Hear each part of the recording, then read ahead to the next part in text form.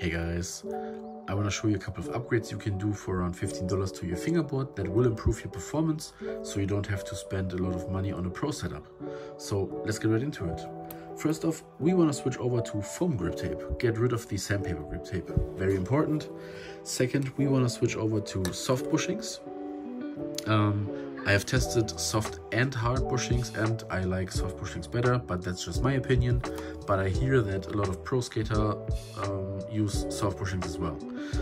The next part is optional. We can change the wheels as well, but they are a little bit on the pricier side.